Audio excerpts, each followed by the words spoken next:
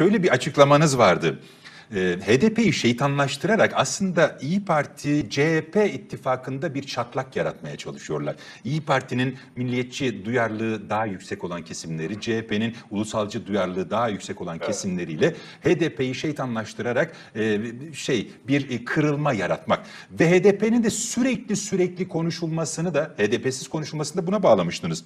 Bunu biraz açar mısınız rica etsem? Teşekkür ederim. Bakın e, Sayın Bildirici e, anlattı. Yine Sayın Şen de öyle. Hep gündemde olan HDP ve HDP'nin ambargo ile karşılaştığını söylediler, anlattılar belirli televizyonlar tarafından. Ambargo olmasına rağmen kendileri çıkamıyor belki ama sürekli HDP konuşuluyor. Peki e, HDP konuşulurken tabii ki HDP'nin e, terörle bağlantısı olduğundan ve e, terörle bağlantısı olmasına rağmen CHP ve İyi Parti ile ittifak yapmış olmasını ileri sürüyorlar. Sürekli televizyonlarda son haftalarda Türkiye'nin gündeminde onca büyük sorunumuz varken, her türlü e, çok ciddi sorunlarımız varken bir de buna pandemi eklendi. Biz HDP'nin e, İyi Parti ve CHP ile olan işbirliğini ispat peşindeler. E şimdi bunu biz tartışıp duruyoruz ama bizim Sayın Genel Başkanımız Meral Akşener konuyu çok e, kere izah etmiştir. Bizim ittifakımız şu şekilde olmuştur. HDP bu ittifakın içinde yoktu diye. Ayrıca e, CHP Genel Başkanı Kemal Kılıçdaroğlu da bunu izah etti.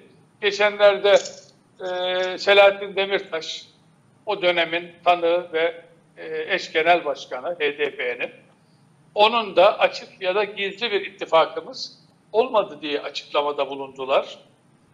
Yine mecliste e, eş başkanlar Mithat Sancar ve Pervin Buldan'ın da ben konuşmalarını hatırlıyorum. Bizim Büyükşehir, Büyükşehir belediyelerinin belediye seçimlerinin sırasında bir işbirliğimiz, açık ya da gizli ittifakımız olmadı dediler. Şimdi Tüm genel başkanlar bunu açıkladıktan sonra yine de her gün belirli televizyonlarda belirli kişiler tarafından bu konunun işlenmesi ne anlama gelir? Onca sorunumuz varken. O zaman yeni bir e, seçim sürecinde çok ciddi iktidarın kaygıları vardır. Yani Cumhur İttifakı'nın kaygıları vardır. Ki olmasın mı? Cumhur İttifakı'nın o günkü ben açıklamamda da belirttim. Sosyal medya paylaşımımda vardı. Cumhurbaş Cumhur İttifakı'yla Millet İttifakı'nın oy oranları yüzde 40-43'ler aralığındadır. Demek ki, demek ki 50 artı 1 denen bu sistemde belirleyici olacak olan HDP'nin oylarıdır. Bu hesabı bizler yaparken en başta da Cumhurbaşkanı e, gayet iyi bu hesapları bilen, yapan bir kişidir ve sürekli de zaten anketler önüne geliyor.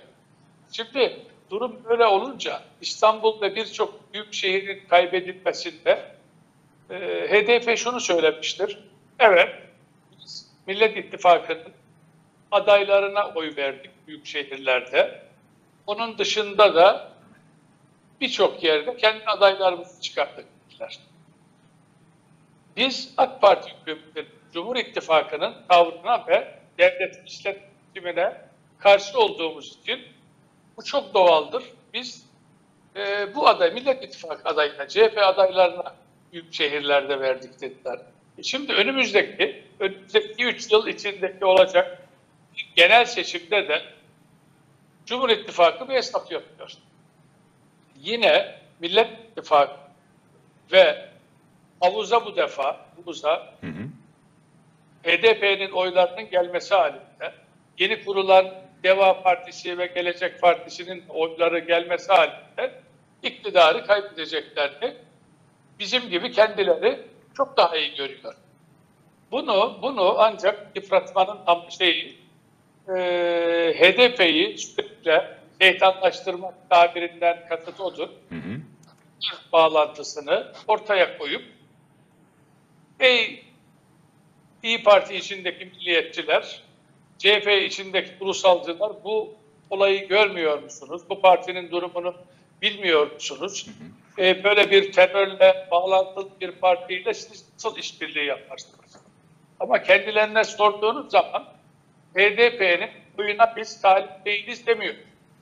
Türkiye'de hiçbir partide HDP'nin oylarına talip değiliz demediğine göre televizyonlardaki oyunun anlamı nedir? Tabii ki belli bir projeye dönük Peki.